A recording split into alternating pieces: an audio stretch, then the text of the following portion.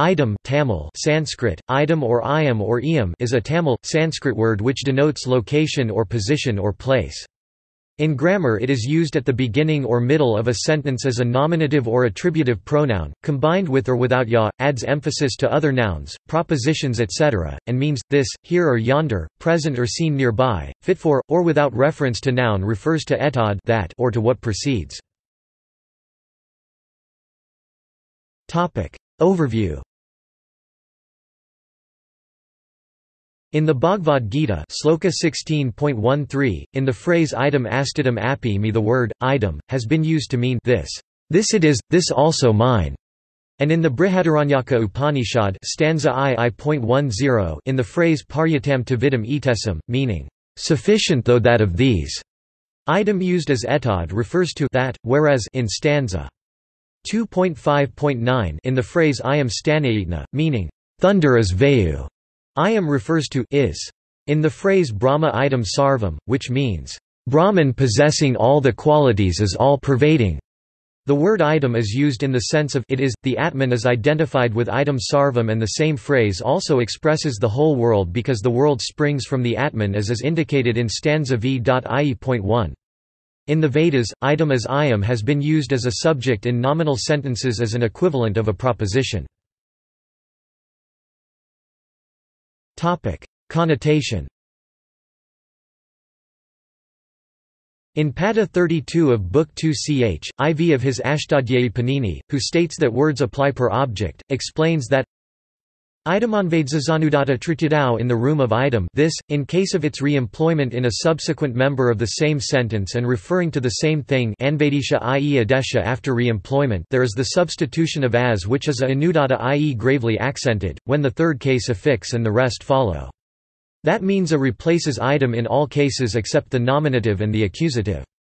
In this context Katyayana stipulates that one should specify a pronominal used in subsequently referring to something should be co-referential with a previously used term because replacement by an anaphoric pronoun should not possibly be allowed where there is not co-reference. And, with regard to tadita affixation abstract patterns like tesa idam prescribing a genitive relationship, tad asman prescribing a locative relationship and tat karati prescribing an action meaning involving an accusative relationship have been identified. The genitive form of items is explained as asthanyoga sasthi and the locative form is explained as parasatami when a case ending beginning with the instrumental case endings follows. A substitute which has s as in it letter replaces the whole of the original form which step requires an anubandha. Kaiyata tells us that words with krta and tada the affixes denoting bhava being extended for bhava to mean dravya object would result in dravya, a pronoun, referring to anything not specified i.e. to an individual object or locus. According to Patanjali the verb as means, bhava or kriya.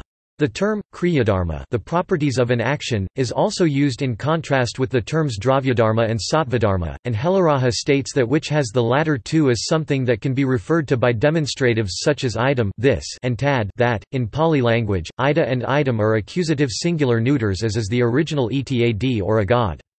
In Tamil literature idam refers to land, landscape or place, which word is one of the six forming the three sets of oppositions, Idam pairs in opposition with kalam time i.e. Idavakupayar that gives name to a place or to something in or from that place, and Kalavakupayar which applies the name of a time or season to something that occurs in time and season. Minard, according to whose criteria repetition would imply an adverb and a declined form indicates a pronoun, considers idam in the phrase idam sarvam as an adverb but idam of the Shatapatha Brahmana stanza 7.4.1.25 firstly implies the article and thereafter the all, the absolute totality which removes the antithesis of I this and ASAU yonder world, Madhvacharya consistent with Samkhya philosophy and Sayana with Advaita Vedanta, take idam occurring in the first line Na vi janami yadavedamasmi ninya sanadu manasa karami in mantra I 164.37 of the Rig Veda to mean the universe instead of its adverbial meaning, here, where the word samnado means ignorance rather than skepticism. Vedic elucidation The Bhagavad Gitas and the post-Vedic use of idam and tad refers to the absolute or Brahman or the all, i.e. to that which the Vedic sages sought to clarify. The idam occurring in the beginning of Rig Veda mantra X 135.7 refers to the seat of Yama where is heard the sound of Yama's flute which no mortal can resist. Idam is the nominative singular neuter demonstrative pronouns, being and non-being the singular subject which is one without a second, in which condition it applies to anything falling within the range of human experience. Advaita elucidation According to Sankara, aham I sense secured in introspection, visaya and idam thou sense sense secured in extrospection, visaya uh, are polarly related, they are as opposed as light and darkness. Idam Brahman refers to Etadakshara, Brahman as the objective unity and the Tadakshara, Brahman refers to the subject, the Atman i.e. Brahman is itself, which cannot be an object matter of pramana jnana since the Atman is non-dual and does not have the knowing and the known in it. Reality is to be cognized objectively as an idam as the goal by looking inwards otherwise the vidhi vakyas would serve no purpose. Beyond I is not any person knower or doer but the transcendental ground of I. The unspeakable, the indeterminate cannot be spoken about directly. Sankara condemns avidya or adhyasa, the wrong apprehension of a content where it is not nor can ever be, which the true knowledge of idam or Brahman alone can eradicate. The idam aspect of ahamkara reflected by the light of the pure self becomes the object of the I sense. Brahman cannot be known in the objective attitude as an object somewhere in the beyond as an idam.